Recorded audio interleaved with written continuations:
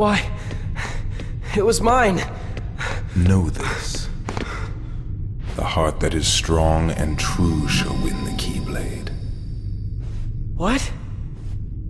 You're saying my heart's weaker than his? For that instant it was. However, you can become stronger.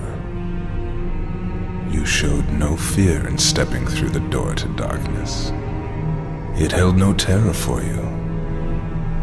Plunge deeper into the darkness, and your heart will grow even stronger. What should I do? It's really quite simple. Open yourself to the darkness. That is all.